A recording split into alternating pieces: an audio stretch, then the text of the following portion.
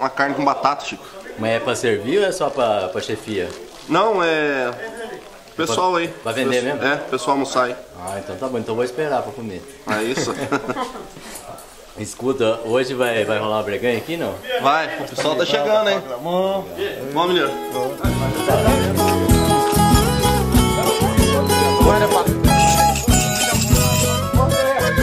Meu nome, meu nome é Fabiano, né?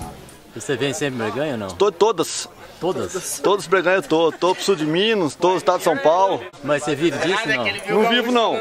500 reais. Eu não vivo disso não. Eu tenho um outro desenvolvimento meu aí. Mas é. E eu gosto muito, né?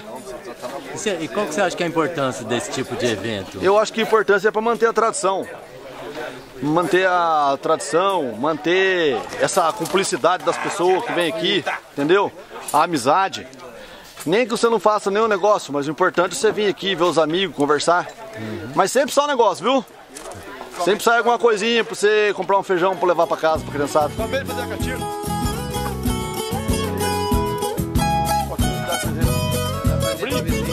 Você tava falando que você é meio cigano, que- como é que é isso aí? Ah, cigano é jeito de dizer, né? Bre- Tudo da vida breganha cavalo, compra e vende.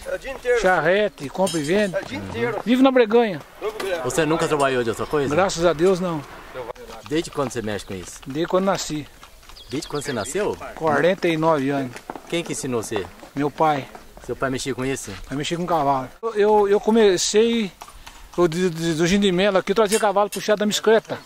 Ah, na bicicleta? Era bicicleta, não, não, não andava de carro dele não. Ô, você falou alguma coisa que as indústrias atrapalham? Como? Ah, tá atrapalhando. Como sair do- você vai sair do, do Gindimelo hoje, uma hora dessa? Uma hora. Com um cavalo de charrete puxando os quatro cavalos, você não atravessa na cidade.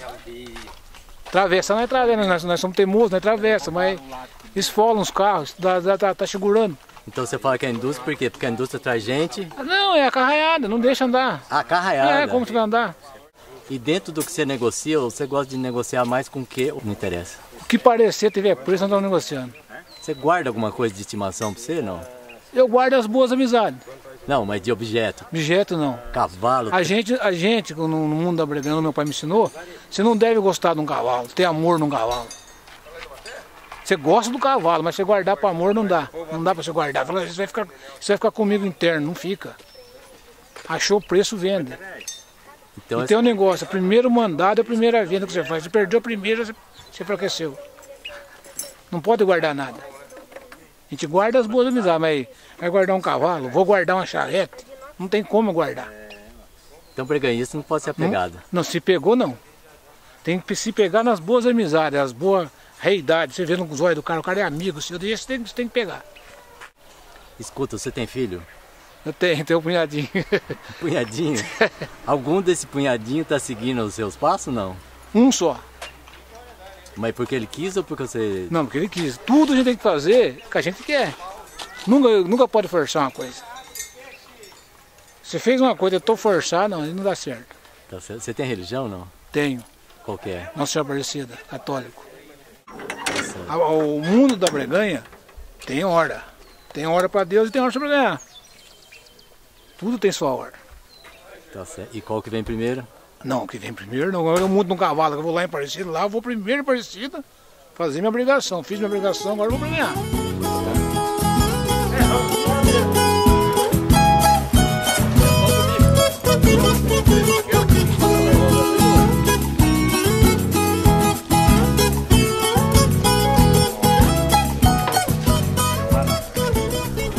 A breganha chega a ser um serviço intermediário, porque o negociante em si, ele compra do criador. Então ele é uma espécie igual aquele pessoal que é o atravessador de produtos Ceasa, ele compra do produtor lá e traz.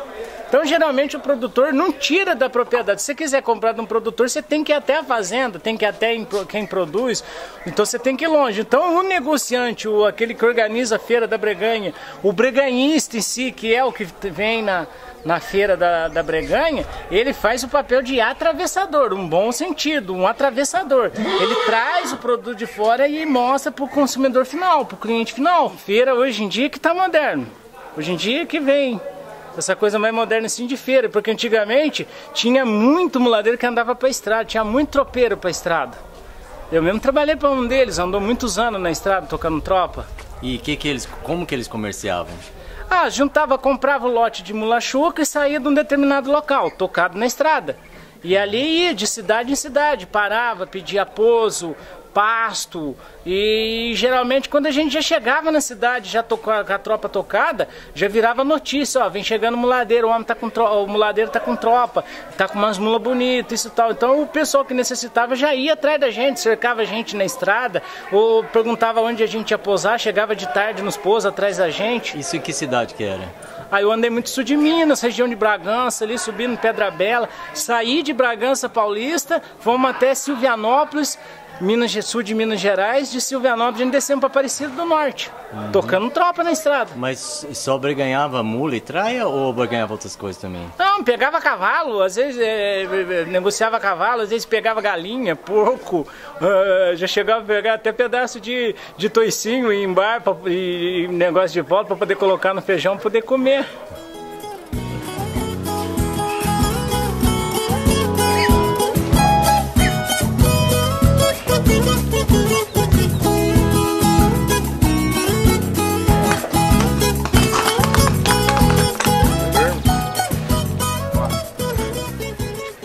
Que é seu nome? É Rogério. Ô Rogério, você mexe com essas coisas aqui? Eu ou... mexo. Você que faz, não? Não, eu só compro e vendo. Desde quando que você faz isso? Faz uns 4 anos só que comecei a mexer com isso aí. Por que você começou a mexer com isso? Ah, é gosto, né? Conseguir conciliar o hobby, uma paixão com um negócio. É, eu mexi com carro 15 anos, trabalhei numa loja de automóveis como vendedor de automóveis. Uhum. Aí eu deixei de, deixei de vender automóvel, comecei a mexer com isso aqui, deu certo consigo viver disso hoje, né? Ah, você está vivendo disso hoje? hoje? Eu vivo disso. Ah. Negociar, comprar animal e trair. Herdei esse gosto aí do meu avô, que meu avô é um dos fazendeiros bem famosos aqui em São José, só mexe com isso também. Meu avô não tem estudo, né? Não sabe ler nem escrever uhum. e tocou a vida, hoje é fazendeiro, bem de vida, só comprando e vendendo essas coisas. E eu tô tentando seguir ele para ver o que, que dá.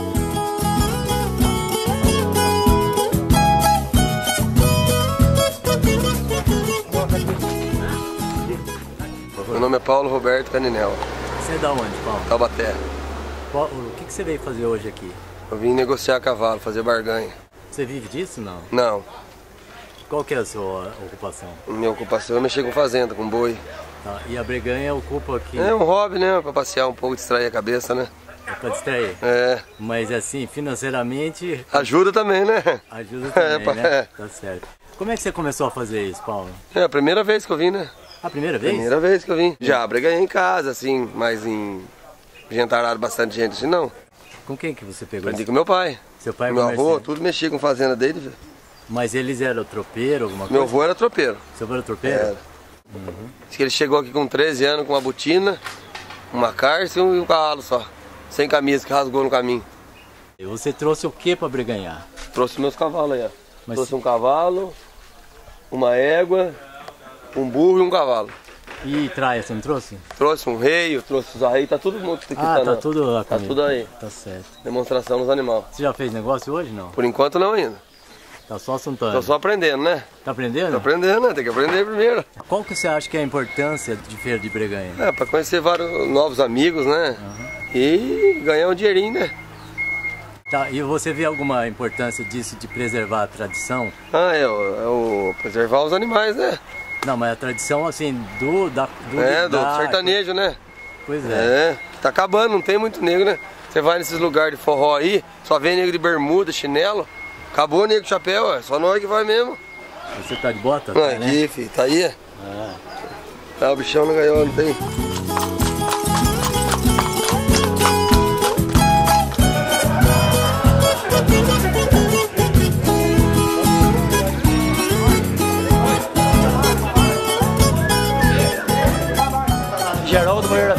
Conhecido como Canela.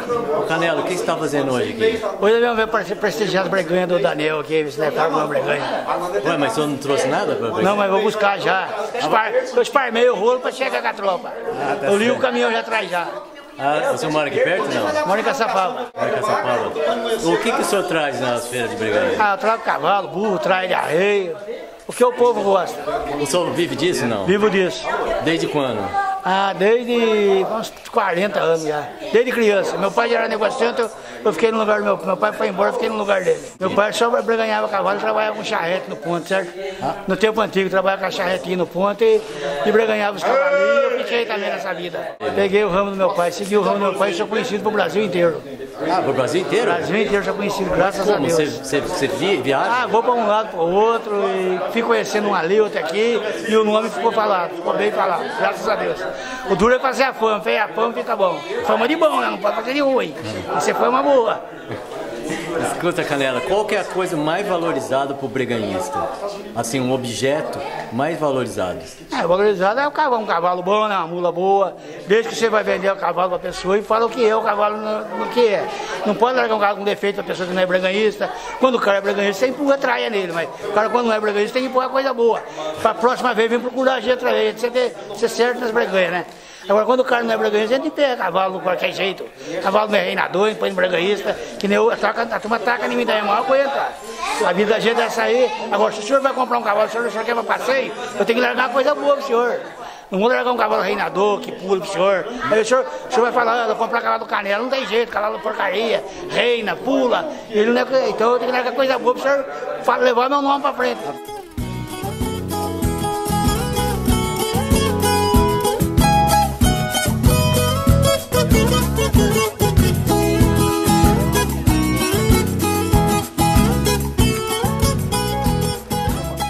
Pai era carreiro, era tropeiro, amansava burro. Cheguei a ver isso aí, porque a minha mãe faleceu, eu fiquei com dois anos. Que eu fui criado na garupa do cavalo do meu pai. Aonde ele ia, me levava junto, sabe? Tudo que eu sei de, de, de animal, de boi, de plantação, eu aprendi com meu pai. O meu pai ele sabia ver a idade de um cavalo pela boca. Ele abria a boca, olhava os dentes e falava, tem tantos anos. Aquele tempo, tropa servia para trazer capado, trazer mantimento para São José e na volta eles levavam sal, querosene. São Francisco para São José trazia porco, trazia milho, feijão, arroz e na volta eles levavam o que não tinha na roça, que era o sal, açúcar. Açúcar até que era muito pouco, porque eu tinha muito engenho, né? Mas o sal e o, e o, e o querosene ia tudo daqui de São José para a roça. No, no lugar que eu nasci era uma fazenda. Que que fazenda tinha? tinha vaca de leite, tinha boi de carro, é, Cana. burro, burro de, de, de cangaia para puxar milho, tinha cana. Mas aí que vocês plantavam o quê? Plantava arroz, feijão e milho, cana. Plantava de tudo que tinha de, de alimentação, plantava de tudo. E dava pro gasto e ainda vendia. Dava para o gasto e vendia, trocava praticamente, né? Com o que não tinha para aquela região. E o que sobrava vendia para fazer dinheiro. O senhor falou trocar, então. Trocar era, eh, naquela época já não era, isso não era breganha. Era troca mesmo de, de alimento de alimento, com tipo feijão, arroz, milho, trocava com querosene, com sal. Vocês não Né? consideravam breganha. Não considerava breganha. Breganha era quando você breganhava um cavalo pelo outro, um boi pelo outro, né? Mas existia feira igual essa que você está aqui hoje? Não, não existia feira não. Feira igual essa naquele tempo não existia. O senhor já foi em outras feiras da breganha, não? Não, essa é a primeira que eu estou vindo. Mas já ouviu falar? Já ouvi falar. De qual você ouviu falar? É, eu ouvi falar dessa aqui mesmo. Dessa- só. dessa Dessa, aqui. aqui do Daniel. A primeira vez eu não pude vir. Aí agora a segunda vez eu vim aqui. Tá certo. E o que, que estimulou o senhor a vir aqui? O que estimulou eu vir aqui é primeiro para conhecer. Eu gosto muito de animal. Conhecer e, e outra coisa, às vezes também dá para fazer uma breganha no, no o meu cavalo, por exemplo, que refuga muito, para mim já não está servindo. Porque eu já estou com 64 anos, né? Tem que apanhar um animal mais calmo. E de repente breganhar, ou de repente vender o meu, porque eu tenho um outro já que está tá domando. Né? O, o senhor faz o que hoje exatamente? Hoje eu sou aposentado. Aposentado. mas Eu era, eu era projetista, trabalho, o último emprego meu foi na Johnson, trabalhei 14 anos. Aí eu aposentei. Hoje eu só, só aju- ajudo a criar os netos e ando a cavalo por aí. Só. Volta aí,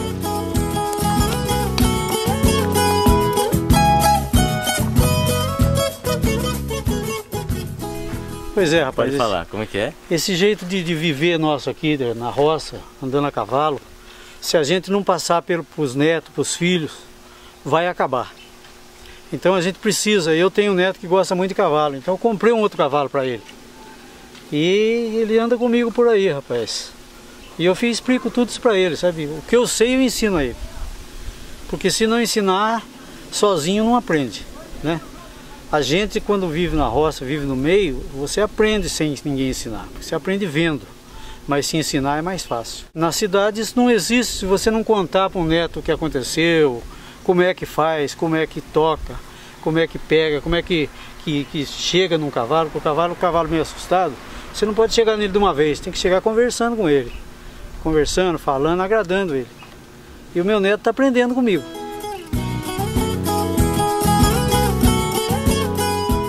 Pode falar seu nome? É Gabriel Castilho Lemes. Ô Gabriel, eu, você é sobrinho do Clóvis, né? Isso, Clóvis Lemes. O que, que você tá fazendo hoje aqui? Ah, nós veio aqui um pouquinho fazer uma breganha, né? Mas com essa idade já Da faz tropa. breganha? Isso, desde pequeno, né? Meu tio me ajudou e tudo. Uhum. Aí, né? Mas por que, que você começou a fazer? Porque te chamou? Ah, é, é, eu gosto dessas coisas também, né? Gosto da rural, essas coisas da roça e tudo mais. E o que, que você trouxe pra breganhar? Nós trouxe a rede de charrete, uns freios de couro, uns abridão de couro pra breganhar. Às vezes, de, vez em quando, assim, aparece uns traios de alpaca nós breganhar também. Ô Gabriel, o que, que você quer ser quando crescer? Ah, quero ser peão mesmo, né? Viver entre essa turma aqui que é gente boa, né? Ter uma amizade boa. Quantos, Mexer com essas tropas aí. quantos anos você tem? Tem 12.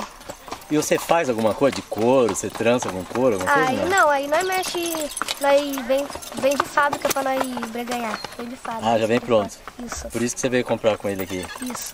Então tá certo. E algum irmão seu eh, mexe com isso também? Não. Não. O que, que seu pai e sua mãe acham disso? Ah, achei legal, né? Que achei bem legal. Uhum. Tô indo pra um destino bom, né? Não tô mexendo com coisa errada. É uma coisa boa pra fazer, né? Eles dão força então Dão pra você? força.